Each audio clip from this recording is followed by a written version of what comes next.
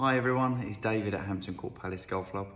Um, I hope you're well, hope you're enjoying your golf if you're a golfer, and I hope you're enjoying the clubhouse if you're not a golfer.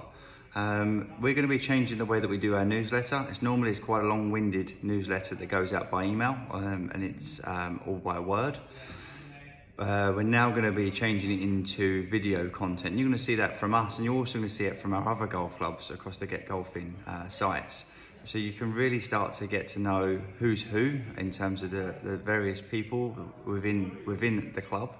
You're going to get to know the areas, what they do on a daily basis, and you're going to be able to see what goes on and what makes the place as good as it as good as it is, and also obviously the improvements that we want to make to make it even better. Um, in terms of that and what's been going on, it's been a very, very good January for us. It's been nice and dry, and the guys have been managed to get a lot of the bunker renovation work done. You're going to see that through um, this platform and through our YouTube channel and our social media pages. Um, you'll be able to look back and see the work that's gone on. But basically, we've got through the 18th hole, uh, the first hole, and the guys are now working on the ninth hole. So it's um, it's moving along really, really well, and the course is looking in great shape.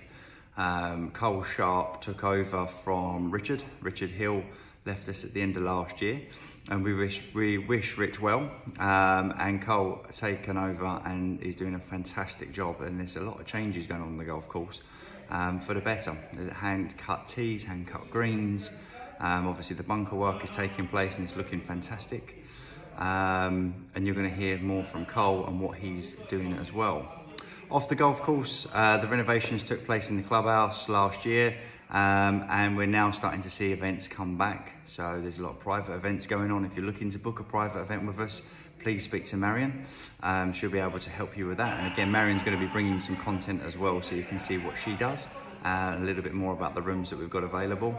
Um, and likewise, even if you don't want to book a private function, you're just looking to stop by for a coffee, have a one-to-one with someone, have a chat, socialise, or even stop by and read a book, then you're more than welcome to pop in. We're open seven days a week. We are an all-inclusive golf club, which basically means we will welcome everybody and anybody. You don't have to be a member. You don't have to wear specific clothing as long as you're dressed. Um, it's nice and open to everybody. So we're going to keep you up to date. Um, it, it's been really nice to hear from you as well. So if you can let us know a little bit more about what you want to hear more of, what you want to see more of, maybe what you want to hear less of, and maybe what you want to see less of, then we can really tailor this content to make it uh, more valuable and greater for you. So um, keep up to date on our YouTube channels, um, our Facebook, Instagram, and um, you can sign up online uh, for the newsletter, which we will send out this video content directly to you. Thanks very much and look forward to seeing you around the club.